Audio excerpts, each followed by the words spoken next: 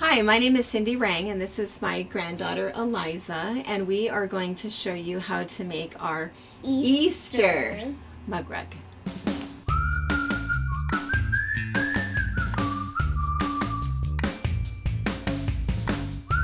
My daughter and I have owned and operated a busy quilt shop in Washington State for over 20 years. We have a retreat center, an active YouTube channel, and a large pattern line featuring our creations. My two sons work on machines.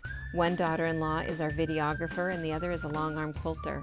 We are a family that love each other, we laugh together, and every once in a while we get some work done. We have a crew that are saints for their efforts at keeping us on track. Thanks for joining us on our wild ride.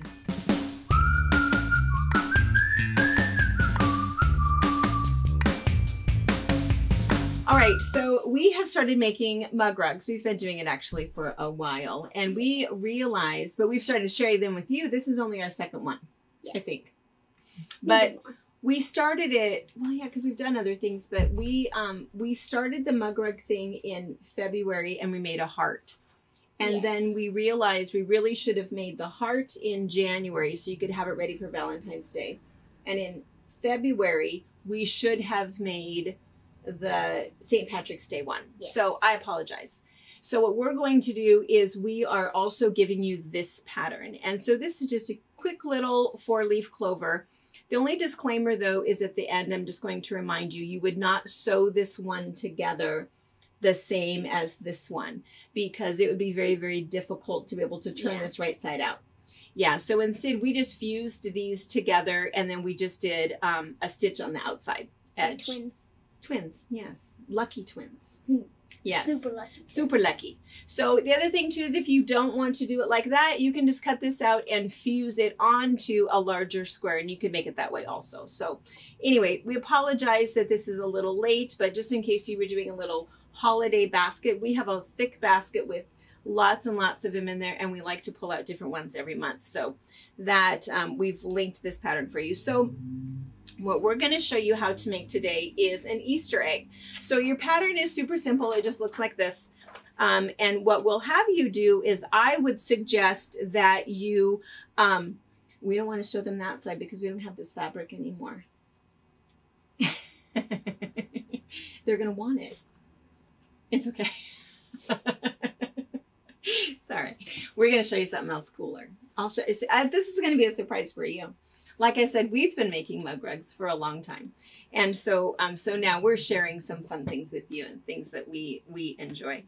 Um, so anyway, so this is the egg pattern. And what we're going to suggest that you do is that you print it out onto freezer paper. And we can sell you freezer paper or it's the same thing if you just use your Reynolds uh, freezer paper from the store. Um, same idea.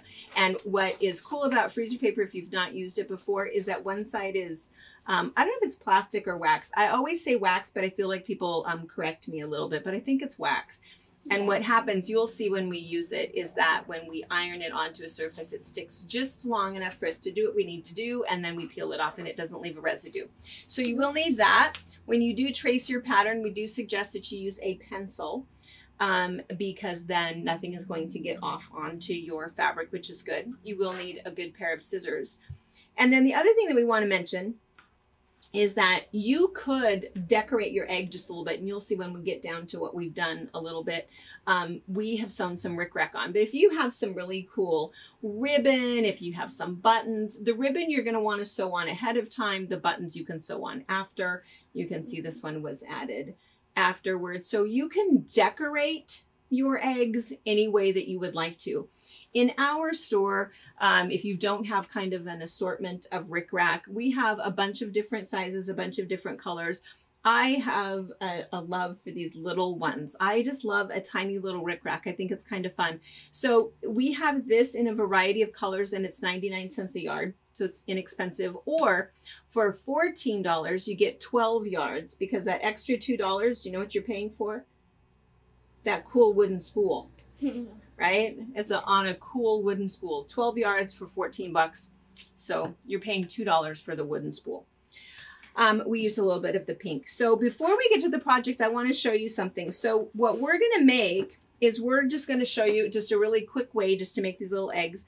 But look what you can do if you just make a bunch of these eggs, you can put them together. Kind of, let me see if I have enough room here to do this. You can kind of put them together. And again, there's hidden gems on the other side of fabrics that are no longer available. So don't ask what's on the other side. Right. Right. So anyway, you can make a bunch of eggs and then and you can put whatever fabric you want, but I really like kind of the multicolored eggs thing.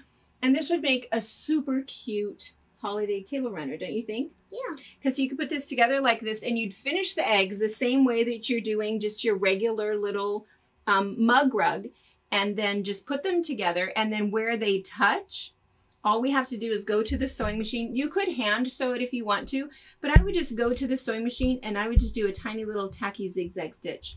And by tacky, I don't mean tacky as in icky. I mean tacking it, right? Tacky? Yeah. It's a tacky stitch. And so just tack it right there. And then that's all I would do is it, kind of, but it, it, exactly, just, yeah, just sew those all together like that. And sew it there, sew it there, sew it there. And then you have this really cute Easter egg table runner. Yeah. Kind of cute, right? Yeah. So anyway, so that's just a little option. That's not the exact thing that, well, we're going to make these exact thing, but um, Not the table one. the table runner, that's just a little bonus. That's a little bonus suggestion, right? Yes. Okay, so let's show you how to make this. So all you need, and I was going to tell you, you know, something kind of fun is my grandma. Um, we never used batting when I was a kid. When we would sew, I didn't know there was such a thing as batting. I think I've I've told others this before that I didn't know you could buy something to put inside of a quilt. We always used old blankets, old, um, and sometimes we had old icky wool blankets, and that's what we would put on the inside. Or if we were making um, placemats or table runners, my grandma would use an old towel. And I think of that every once in a while when I have an old towel that just gets a little dingy and a little icky. It's been washed a million times. You know, it's not going to shrink. It's absorbent and it's soft. So, you know, you could, if you didn't have weird little leftover bits of batting, which of course we do have Yes. all kinds of it, and we save it for these sorts of things. But if you don't have it, you could just use a towel. I think it's kind of a fun thing.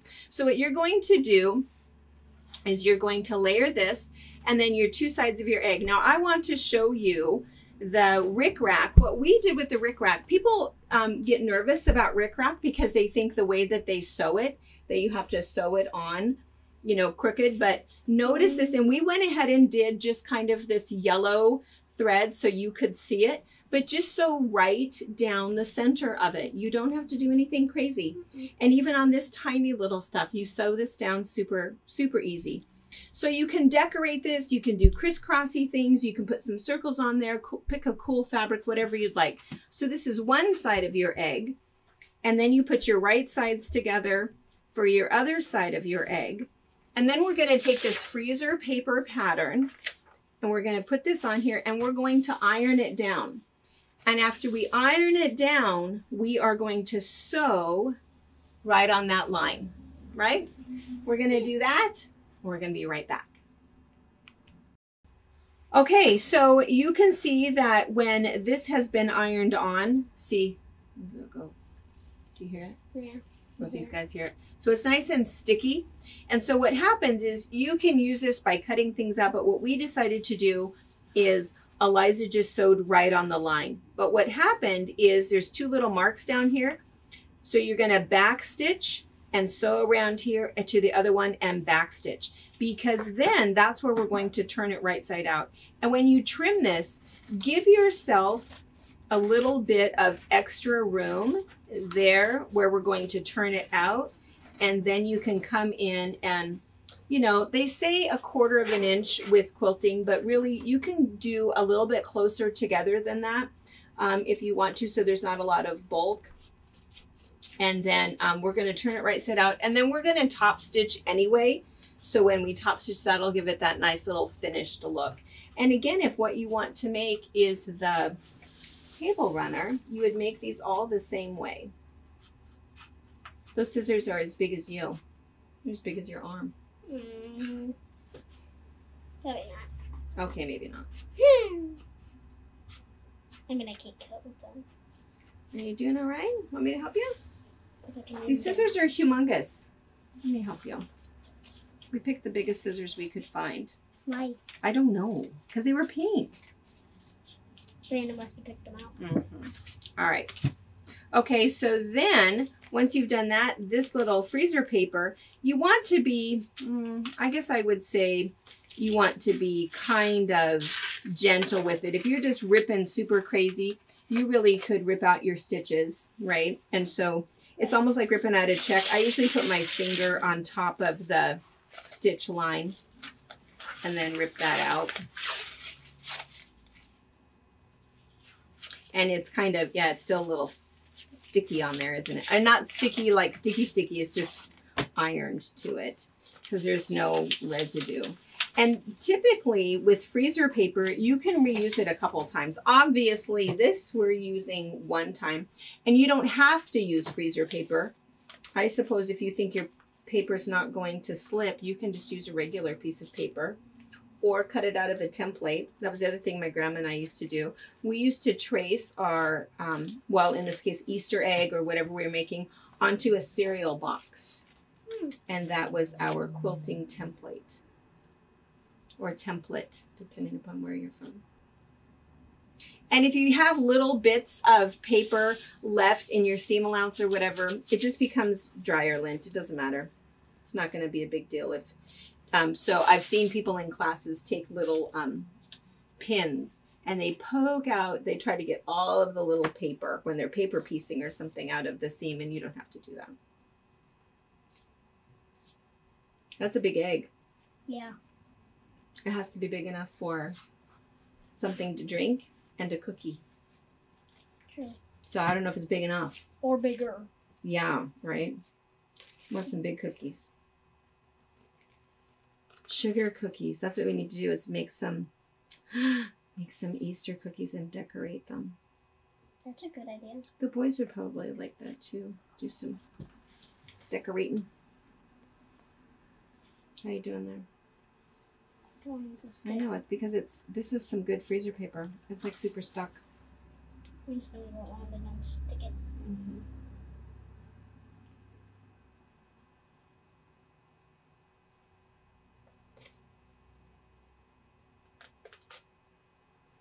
Okay. Right. So now, oh no, wait, wait, Wait. but wait, Wait. wait. Okay. Okay. So when all the paper's off, then all you're gonna do is turn it right side out. That's why we left that little hole right there. Yeah. So we're gonna turn, and that's why you also want to double um, backstitch, double tack, whatever, Hmm. through the end there, is because otherwise when you're pulling that out, you'll pull those stitches out.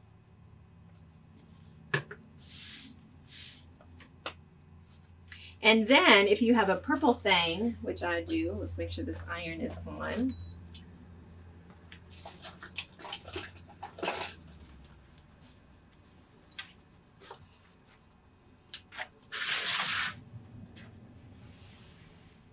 Got that purple thing? I got it.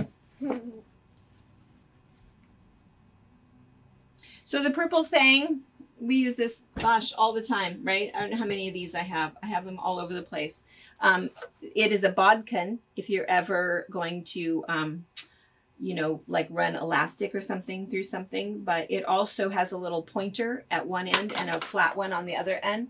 And and um, when you're It's ironing, iron it, it's a yeah, it It's is. a It's an oven mitt. Yeah, except if you didn't use the right batting, it wouldn't work. Mm-mm.